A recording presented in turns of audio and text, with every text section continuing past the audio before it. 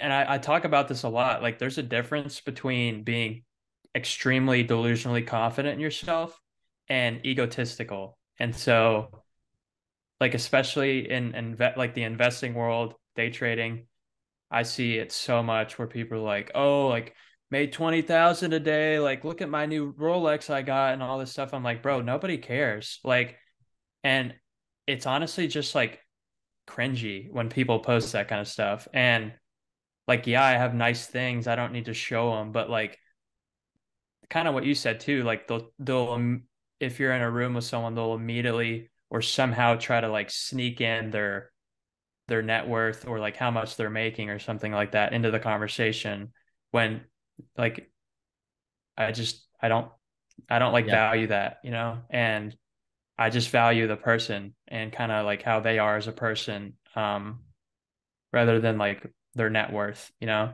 Yeah. That's something I used to struggle with was uh hearing people's net worth of saying like, oh, this person is that much has that much money, or this person has that many friends that are at that level. And I used to base myself, my my own uh self worth off of that. And that was in times when I was really young, just insecure, depressed at times, and just hated life. And then there was at one point where I was just thinking to myself, I'm like, on a spiritual level, all human beings, all things are just uh, a being, a form of energy, like the soul.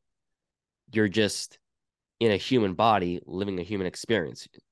And as soon as I thought about that, I'm like, everyone who you see in this planet, this world, is basically equal.